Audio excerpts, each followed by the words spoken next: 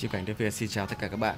Hiện tại thì mình đang có ba quả đào ờ, của nghệ nhân Bình Hà Nội và cành treo như thế này.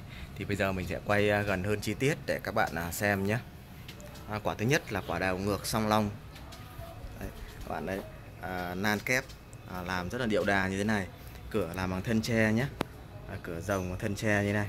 Đấy, rất là đẹp. Thứ hai là cái móc móc cũng làm con rồng luôn. Đấy, Quả này thì là 1 triệu 650 nghìn này. Đấy 1 triệu 650 nghìn. Đó. Quả thứ hai cũng là quả cỏ đào song long, nan thưa nhé Nan thưa, Cửa cũng là con rồng, Móc cũng là một à, con rồng luôn nhé ừ, Quả này thì à, 1 triệu 350 nghìn nhé Đó. Quả đào cân. Quả thứ ba, Quả thứ ba quả trên này này. Quả trên này là quả đào nan thưa, Một con rồng to làm móc luôn nhé Quả này thì 1 triệu 2 Rất là đẹp thì bạn nào có nhu cầu thì liên hệ với chim cảnh đất Việt theo số điện thoại 0944 11 4410. Mình ở 274 Định Công, Hoàng Mai, Hà Nội và có ship hàng toàn quốc nhé. Các bạn có thể xem trên ờ, thêm trên cái Facebook chim cảnh đất Việt.